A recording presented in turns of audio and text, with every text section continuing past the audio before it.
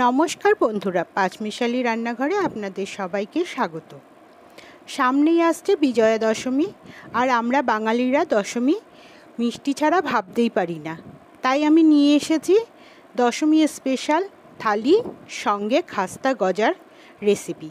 আসুন দেখি আমি খাস্তা গজা কীভাবে বানাই। খাস্তা গজা বানানোর জন্য আমি নিয়ে নিচ্ছি দেড় কাপ ময়দা আর অল্প কালো জিরে, অল্প বেকিং সোডা আর দু চামচ ঘি। দিয়ে এবার সমস্ত মিশ্রণগুলোকে ভালো করে মিশিয়ে ময়ম দিয়ে নেব। এইভাবে করে করে আমি ময়ম দিয়ে নেব। এখানে ঘিয়ের বদলে তেলও ব্যবহার করতে পারেন, কিন্তু ঘি দিলে টেস্টটা আরও বেশি ভালো হয়। আমি ময়ম দিয়ে নিয়েছি।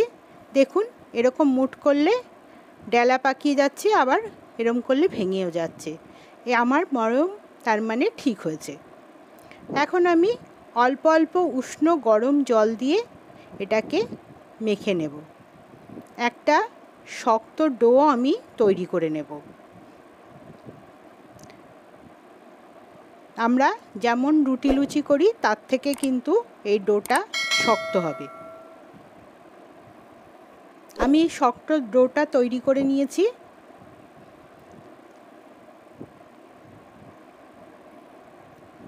এবার এটাকে ঢেকে আমি দশ মিনিট রেস্টে রেখে দেব। দশ মিনিট রেখে দিয়েছিলাম। এখন আমি হাতের সাহায্যে প্রেস করে করে এরকম করে ছড়িয়ে তারপরে চৌকো একটা শেপ করে নেব। আপনারা চাইলে বেলেও নিতে পারেন, কিন্তু আমি যেহেতু বেশি পাতলা করব না বলে এটা এরকম করেই শেপ দিয়ে নিয়েছি, চৌকো শেপ দিয়ে নিয়েছি। এবার একটা ছুরির সাহায্যে এইভাবে করে চারদিক সমান করে কেটে নেব।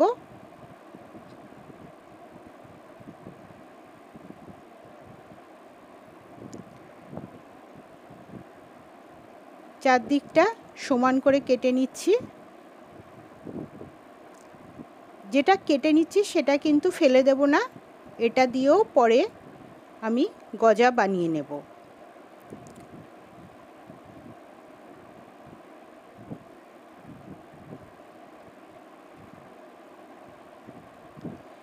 চারদিকটা অল্প অল্প কেটে সম্পূর্ণ চৌকো আকারে একটা শেপ দিয়ে নিয়েছি।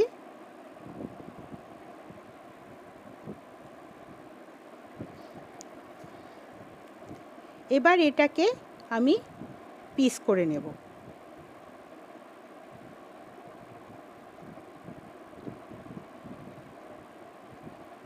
এইভাবে করে প্রথমে তিনটে পিস করে নিলাম। আপনারা চাইলে এর থেকে বড় বা ছোট করে নিতে পারেন।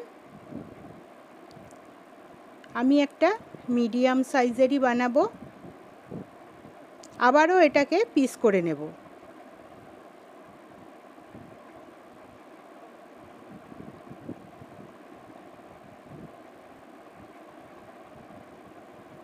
আবারও এর থেকে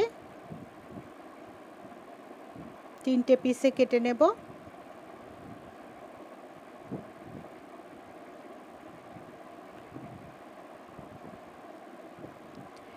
এবার পিসগুলোকে আমি আলাদা করে নেব। দেখুন, এতটা পুরু করে আমি গজাগুলো তৈরি করেছি।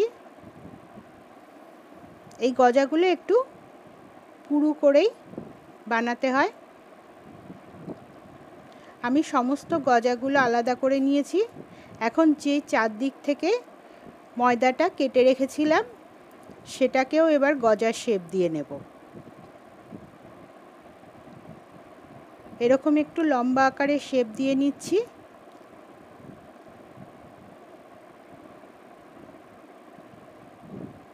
এবার এটাকে মাঝখান থেকে কেটে নেব। নিয়ে আর একটু ভালো করে চৌকো শেপ করে নেব।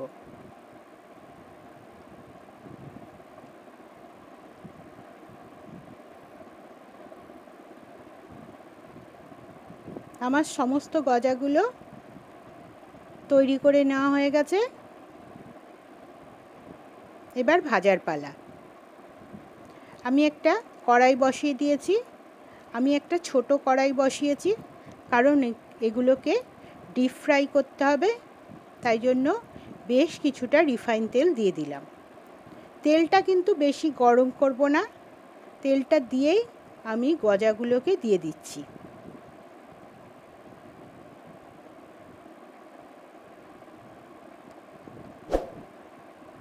দেখুন, আমি এখন মিডিয়াম ফ্লেমে রেখেছি। তেলটা আস্তে আস্তে গরম হবে। আর গজাগুলোও আস্তে আস্তে ভাজা হবে। কখনোই কিন্তু গরম তেলে এই গজা দেবেন না প্রথমেই প্রথমে গজা দেওয়ার সময় তেলটাকে ঠান্ডা করে নিতে হবে। গরম হয়ে গেলে সেই তেলটাকে ঠান্ডা করে নিয়ে তারপরে কিন্তু গজা দিতে হবে। না হলে গজাগুলো ভালো হবে না। দেখুন, আমার তেলটা আস্তে আস্তে গরম হয়ে গেছে আর গজাগুলো কতটা বড় হয়ে ওপরে ভেসে উঠেছে। আমি এরকম ঝাঁঝরিটা দিয়ে এরকম করে শুধু তেলটাকে নাড়াচ্ছি। দেখুন, গজাগুলো কিন্তু সব ভেসে উঠেছে। এক পিঠ ভাজা হয়ে গেলে এবার আমি অন্য পিঠটা উল্টে দেব। তার জন্য আমি চামচ ব্যবহার করেছি। এতে করে গজাগুলো ভেঙে যাওয়ার ভয় থাকবে না। খুব সাবধানে কিন্তু উল্টাতে হবে, যেহেতু গজাগুলো খুবই খাস্তা। আর এখনও নরমই আছে। মিডিয়াম ফ্লেমে গজাগুলোকে আমি এপিট ওপিট করে ভেজে নেব। আমার গজাগুলো ভাজা হয়ে গেছে। দেখুন, গজাগুলো কালারও চেঞ্জ হয়ে গেছে। এবার গজাগুলোকে আমি তুলে নেব। গজাগুলো তুলে নিয়েছি, এটাকে এবার ভালো করে ঠান্ডা করে নেব। এখন আমি চিনির রসটাকে তৈরি করে নেব। আমি দিয়ে দিলাম এক কাপ চিনি আর হাফ কাপ জল। এবার লো ফ্লেমে চিনিটাকে গলতে দেব।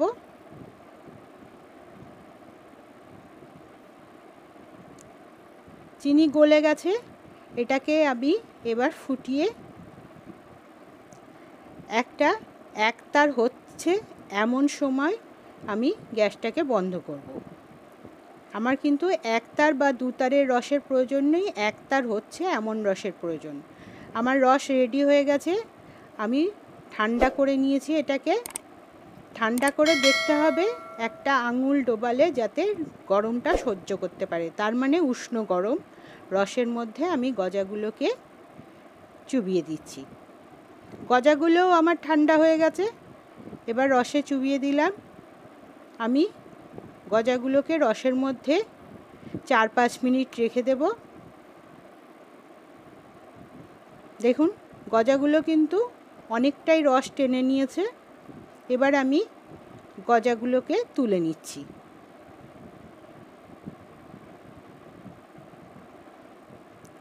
গজাগুলো তুলে নিয়েছি।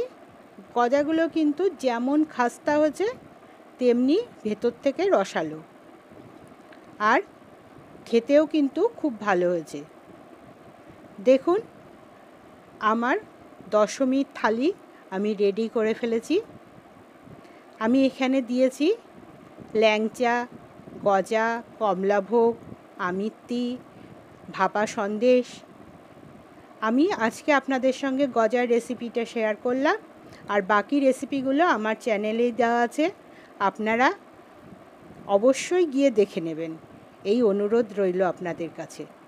আর সবাইকে বিজয়া দশমীর আগাম শুভেচ্ছা রইল।